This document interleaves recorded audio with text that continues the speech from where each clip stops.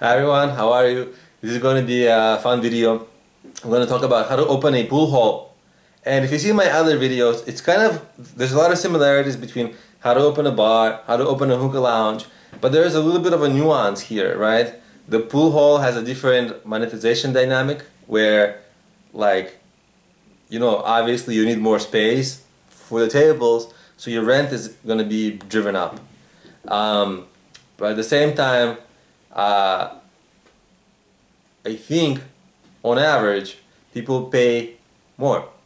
And there is more to do in your bar so you have more ways to differentiate yourself. So people want to play people want to play pool uh, they can do it in your bar so you have a way extra angle to from which you can market your business. But all the other kind of sections of the business plan and how you start this business are pretty similar right? You you know let's talk about it. So there's the product which is the pool hall or bar with pool tables uh, but kind of enough of a bar that it's like almost a game bar, not a uh, bar first, but bar second, games first.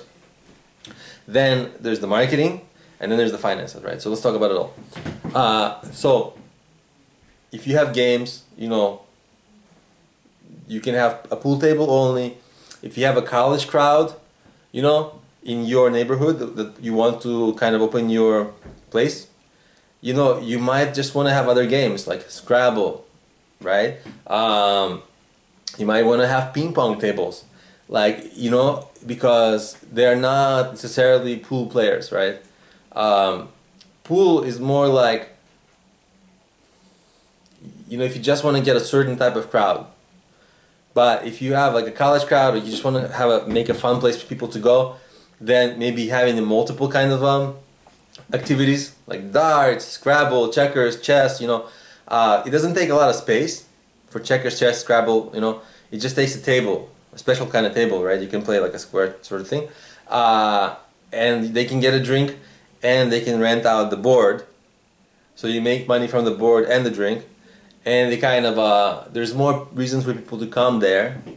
And, you know, if they want to play pool, you know, you, you, then pool is like a, kind of, you, you make a lot of money per half an hour per hour. You know, in Scrabble you don't make a lot of extra money, but you sort of, as long as people are sitting there with their drink, you might as well get them to pay for that thing that they're doing, and it gives you a, a reason to get them into your place. So the marketing is really good there. Like the marketing, it's like you have all the best uh, marketing kind of um, incentives for people, for people to come there. Uh, the only the only marketing incentive that you're missing is that usually other kind of bars they're like you know people go there to meet the opposite sex. But if you have a pool hall or a game kind of a bar uh, people are people are more likely to go with their existing friends and stay within and play within their existing groups. So it's the only thing you're missing there. So the marketing is really good here. And if you've seen my other videos here's how to also market your bar. Uh, definitely list on listed on uh, local service sites. Definitely have a website for it. Definitely um, sign up for something Google, called Google Local, which will put you on a little Google map in searches. Uh, definitely um, try to get press, right? Try to get like because you have such a unique business here. Like if you if you just have a pool hall, uh, it's okay but if you can give, give it like a twist, like a really fun place, like a, for people to go, then local bloggers will write about, maybe local like bigger sites will write about and cover you. And what that does, it gives you more exposure on the web. And by the way, their pages are way more likely to rank than your website because they're just so much bigger and they can drive a lot of traffic to you. You won't even ever know it because uh, people never will, will never tell you, oh, I saw your bar, and they'll, they'll just come in and they'll buy your drink, and you'll never know it. But really, um, try to get local press coverage. Um, it, it, it's going to be a huge driver um, for you uh, of, of customers. Um, but of course, you know, it, it's easy to market this kind of a business. I mean, it is it, it, it's almost like the it has all the almost all the best ways, all the best kind of things of, in marketing in it. But what's challenging in this business is the finances. The finances for this kind of business are always brutal because you know the rent is really expensive. the remodeling is pretty expensive. Pool tables are going to be expensive. Uh, the, the salaries you have to pay people, the licenses, right? All that. And um, so what you have to do, first you got to understand how much money you need to raise. And, you know, there's the amount you need before you start, where you're getting your licenses, you're starting remodeling, you're getting the space, you're hiring maybe a few employees.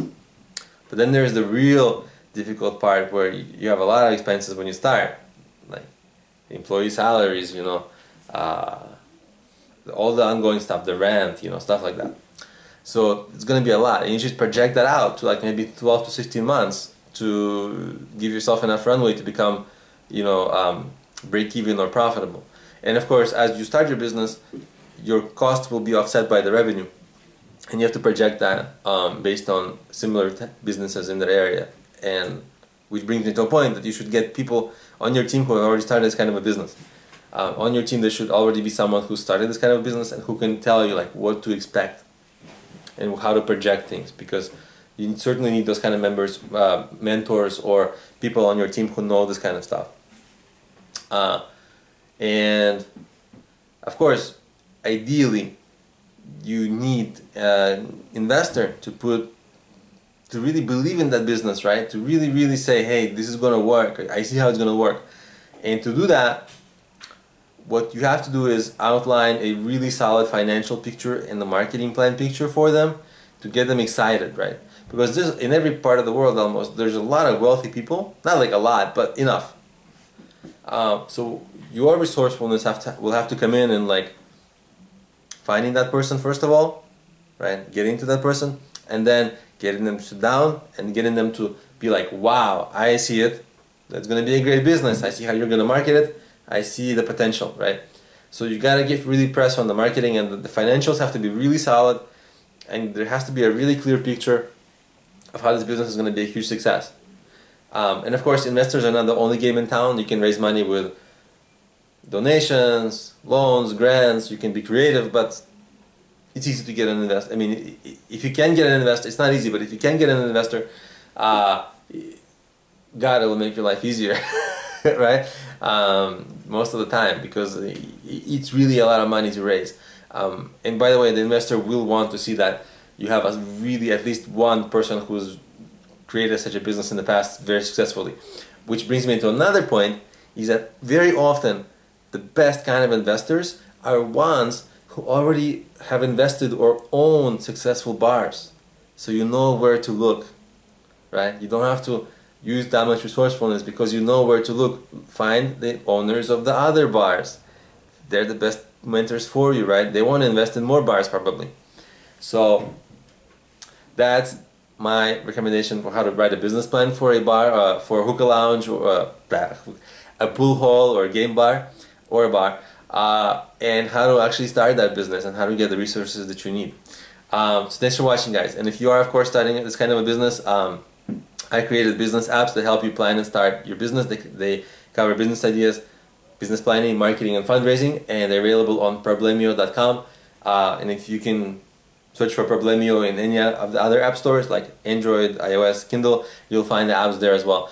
Um, so thanks for watching, and I'll see you in my next videos. Bye. Oh yeah, and subscribe to this channel. Did I mention that? Subscribe. Bye.